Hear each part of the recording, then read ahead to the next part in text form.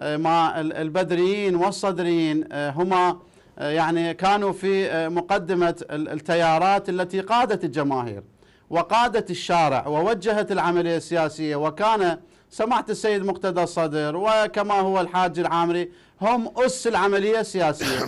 لكن الطرفين لم تسنح لهم الفرصة في أن يقفزوا إلى الواجهة ولم يعني يتسلموا مقاليد الأمور.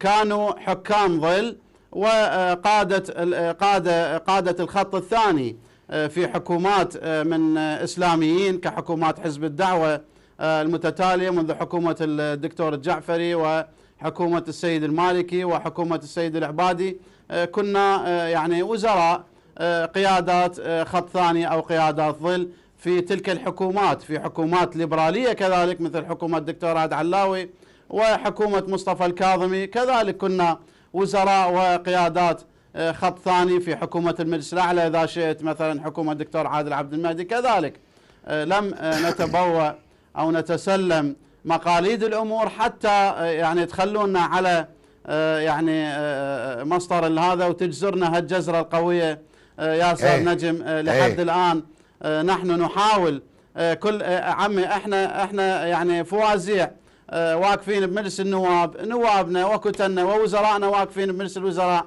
يعني مصدات تعرف مجلس النواب يشهد يعني عراق قوي في أغلب الأحيان ويشهد يعني منذ الفينه والأخرى تزاحمات في الشأن السياسي بين الأقطاب السياسية وبين الكتل والأحزاب. زين. فإحنا قاعدين نفازع لا أكثر ولا أقل سؤال إحنا أتر صدري ليش؟